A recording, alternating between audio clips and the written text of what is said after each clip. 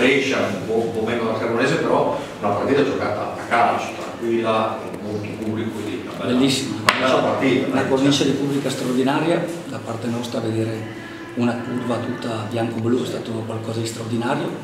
merito anche la Cremonese che ha spinto la propria squadra fino alla fine, è stata una partita aperta, eh, finita 0-0 ma potevano esserci dei gol, le due squadre hanno provato sino all'ultimo secondo a superarsi, eh, nonostante il caldo, nonostante fosse la terza partita in eh, sei giorni, per me le squadre hanno letto bene, dunque complimenti anche ai nostri collaboratori e preparatori fisici perché avere questo tipo di condizione nel finale di campionato è molto importante e di conseguenza sono contento perché per noi questo punto sancisce il nostro primo posto dal punto di vista matematico, ci tenevamo tanto e di conseguenza abbiamo raggiunto anche questo obiettivo.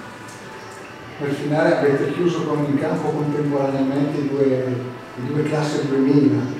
Viviani e Tonali. Vabbè, Tonali ha giocato solo uno scampone di partita, però da parte di Viviani grande personalità, in un. Ha giocato una partita straordinaria, Mattia è uno di quei giocatori che mi ha dato più soddisfazione perché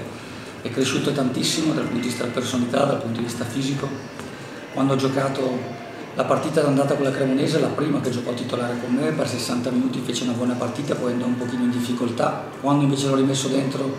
in questo scorcio finale di stagione ha dimostrato un grado di maturità e una crescita straordinaria, sono molto contento perché anche oggi